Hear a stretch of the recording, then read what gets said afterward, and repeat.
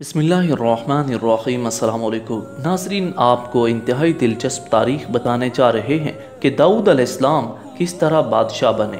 जब तालूत बनी इसराइल के बादशाह बन गए तो आपने बनी इसराइल को जिहाद के लिए तैयार किया और एक काफिर बादशाह जालूद से जंग करने के लिए अपनी फ़ौज को लेकर मैदान जंग में निकले।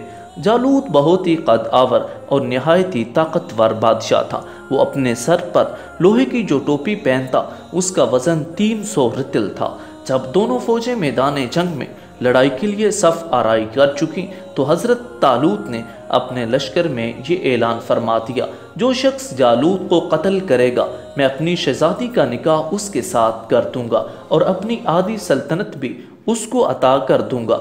ये फरमान शाही सुनकर हज़रत दाऊद अलैहिस्सलाम आगे बढ़े, जो अभी बहुत ही कम सिन थे और बीमारी से चेहरा जर्द हो रहा था और गुर्बत व मुफलिसी का ये आलम था कि बकरियाँ चराकर उसकी उजरत से ज़िंदगी बसर कर रहे थे। रिवायत है कि जब हज़रत दाऊद अलैहिस्सलाम घर से जिहाद के लिए रवाना हुए थे तो रास्ता में एक पत्थर ये बोला ए हज़रत दाऊद, मुझे उठा लीजिए, क्योंकि मैं हज़रत मूसा इस्लाम का पत्थर हूँ, फिर दूसरे पत्थर ने आपको पुकारा।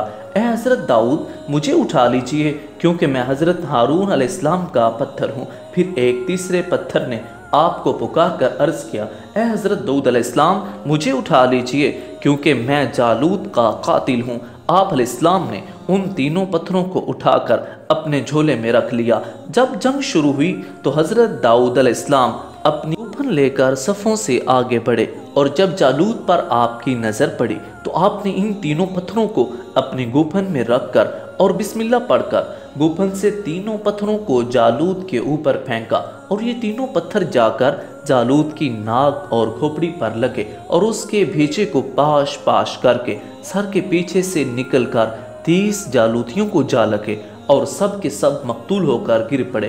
फिर हज़रत दाऊद इस्लाम ने जालूद की लाश को घसीटते हुए लाकर अपने बादशाह हज़रत तालूत के कदमों में डाल दिया। इस पर हज़रत तालूत और बन इसराइल बेहद खुश हुए। जालूत के कत्ल हो जाने से उसका लश्कर भाग निकला और हज़रत तालूत को फतेह मुबीन हो गई और अपने ऐलान के मुताबिक हज़रत तालूत ने हज़रत दाऊद अलैहिस्सलाम के साथ अपनी लड़की का निकाह कर दिया और अपनी आदि सल्तनत का उनको सुल्तान बना दिया। फिर पूरे चालीस बरस के बाद जब हज़रत तालूत बादशाह का इंतकाल हो गया तो हज़रत दाऊद अलैहिस्सलाम पूरी सल्तनत के बादशाह बन गए और जब हज़रत शमूल की वफ़ात हो गई तो अल्लाह ताला ने हज़रत दाऊद अलैहिस्सलाम को सल्तनत के साथ नबूवत से भी सरफराज फरमा दिया। आपसे पहले सल्तनत और नबूवत दोनों एक एजाज़ के साथ, दोनों का एजाज़ किसी एक को नहीं मिला था। आप पहले शख्स हैं कि इन दोनों उहदों पर फायज होकर सत्तर बरस तक सल्तनत और नबूवत दोनों मनसबों के फ़राइज पूरे करते रहे। और फिर आपके बाद आपके फर्जंद हज़रत सुलेमान इस्लाम को भी अल्लाह ताला ने सल्तनत और नबूवत दोनों मरतबों से सरफराज फरमाया। नाजरीन, हज़रत दाऊद इस्लाम बावजूद इसके कि एक अजीम सल्तनत के बादशाह थे, इस कर सारी उम्र वो अपने हाथ की दस्तकारी की कमाई से अपने खुर्दो नोश का सामान करते रहे। अल्लाह ताला ने आपको ये मोजा अता फरमाया था कि आप लोहे को हाथ में लेते तो वो मोम की तरह नरम हो जाया करता था और आप उससे सिरहें बनाया करते थे।